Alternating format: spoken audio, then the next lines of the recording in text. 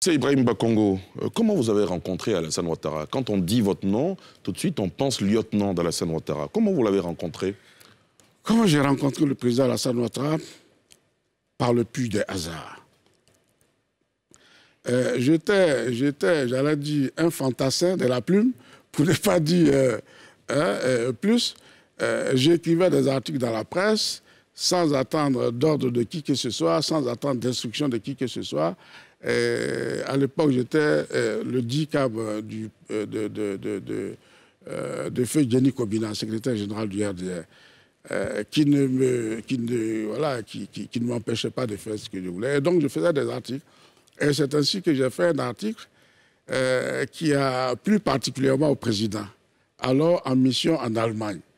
Et de l'Allemagne, il a appelé pour pour, dire qu'à à, la fin de son mandat, à la fin plutôt de sa mission, il passerait par Abidjan et sur place, euh, il me recevrait. Ce qui a été fait, voilà comment j'ai été reçu, hein, voilà comment j'ai rencontré le président. C'est vrai qu'à l'époque, euh, à ses différentes arrivées ici, nous partions tous à l'aéroport l'accueillir.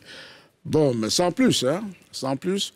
Mais la rencontre, hein, euh, euh, en tant que tel, c'est donc en, en 98 en, 90, en 1998. Très bien.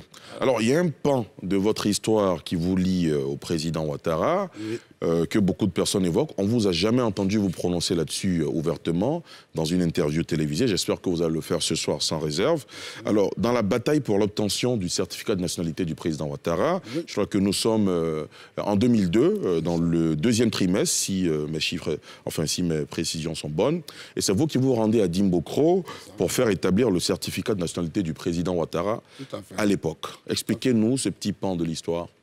Bon, euh, l'histoire a commencé à la résidence du président Alassane Ouattara à Blocos, euh, où nous nous retrouvions un certain nombre, hein, euh, Marcel Amontano, Amadou Koulibaly, Ahmed Bakayoko, Ali Koulibaly, et moi-même, et puis Ibrahim bien sûr.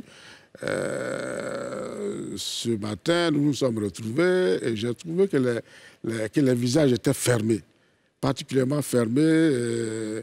Euh, il n'y avait absolument aucune, il y avait absolument hein, aucune lumière sur le visage. moi qui suis taquin, je n'ai pas réussi ce jour-là à, à, à, décrisper l'atmosphère. À décrisper l'atmosphère, à, obtenir un sourire de qui que ce soit. Et c'est ainsi que je me suis rapproché de Marcel Montano, à qui j'ai demandé Mais qu'est-ce qui se passe? Pourquoi vous êtes triste? Ah, il, me, il me lâche euh, euh, Écoute, apparemment, hein, tu ne suis pas les choses. Je dis, mais si, je suis tout. Bon, on n'arrive pas à faire le certificat de nationalité du président. Il dit, ah bon? Euh, Par naïveté, porté par la naïveté, par l'insouciance, euh, euh, dites tout ce que vous voulez ou entendez tout ce que vous voulez. Je lui ai balancé, j'ai dit, ben moi, je vais obtenir ce certificat. Et mes regards, il dit, mais sois un peu sérieux. J'ai dit, mais je t'ai dit que je vais obtenir ce certificat.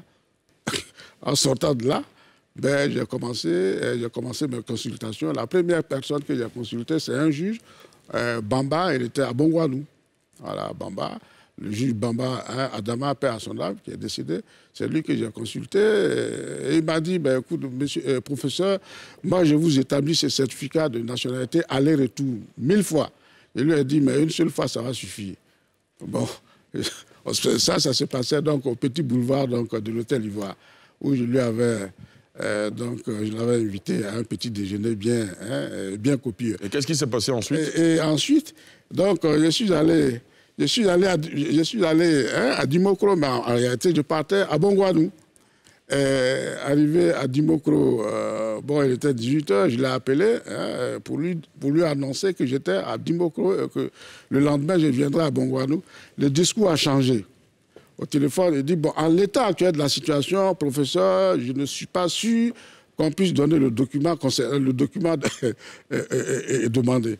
Bon, alors, bon, la grâce euh, divine était sur moi. Je me suis souvenu à, ce moment précis que j'étais à Dimokro, Dimokro, la ville natale du président de la République. Donc, j'ai demandé au préfet euh, Issa Diakité, colonel Issa, mais colonel-major Issa Diakité, à passer la nuit chez lui et donc à, pouvoir rencontrer la famille du président Adimo ce qui a été fait. Et c'est ainsi que j'ai été mis en contact avec le juge euh, Mais euh, il y a, il y a, il y a, il y a, toute une partie de, de mon prochain livre qui retrace tout ça. hein. D'accord, très bien.